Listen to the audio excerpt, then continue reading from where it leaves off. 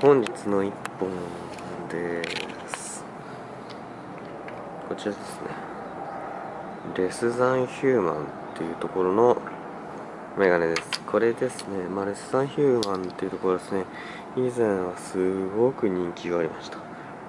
でただですね、えー、1回倒産しましてその後レスザンヒューマンのこのメガネ自体の価格が暴落しえー、結構ですね。一部モデル以外が結構もう本当に値段がもう総崩れになりました。ただ昔は 49s のメガネとともに同じぐらいの人気を誇っていたメガネです。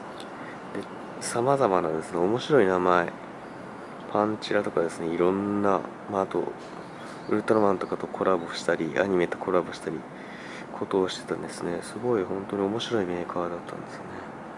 で今回はですねそちらのレスタンヒューマンの以前の昔の時、えー、に出していた、えーと、これ文豪シリーズってここにですね書いてあるんですけど一図さとかここ書いてある泉鏡花モデルという形ででこれがですねセルロイド本セルロイドを使ってます。セルロイドはもう今日本でしか使えません。もうあの他の国ではもうほとんど発売禁止になっているところもあるぐらいです。燃えやすいっていうことで。だからこのセルロイドっていうのはですね独特の色味を出しますのですごく綺麗な色が出ます。これはですねえー、女性にもかけやすいんですけど海外の方特に中国とか他の国の方セルドゥがなかなか買えない方に人気のあるフレームです。レスザンヒューマ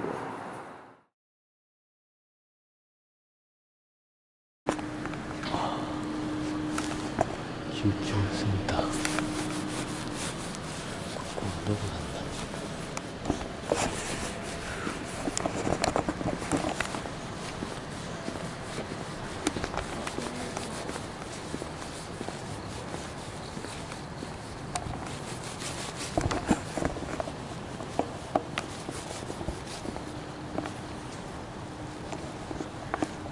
京大学病院です。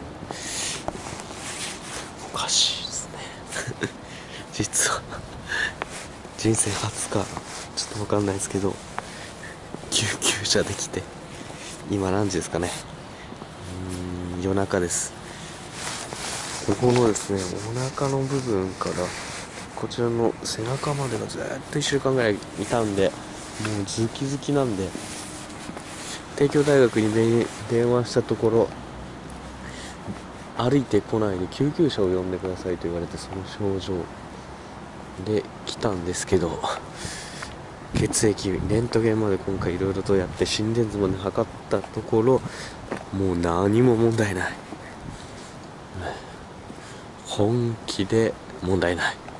超健康。ということになりまして。ょっと今狼少年の気分で帰っております。家に向かおうとしてます。月が綺麗です。娘の時にはかなりお世話になってるんですけど娘でさえ救急車を呼んだことがありません。そんな中健康有料時救急車を皆様のそうですねいわゆる税金で走ってる救急車を呼ばせていただいてさらに重要患者の方々押しを受けて呼ばせていただいてしまうような失態を起こしてしまいました。申し訳ないです。これから帰りますけどどっちの方向だかが全く分かりません。帝京大附属病院。綺麗な病院です。親切でした。はい。以上です。間違いなく痛いんですけどね。これ普通じゃなく。なんだろうな。バックパッカー自体もね、まあ、いろんなところでいろんなものを体壊してたりするんですけどちょっとそれともまた違う痛みが間違いなくあるんですけどね。寄生虫かな。こうなったらモンブラン食うか。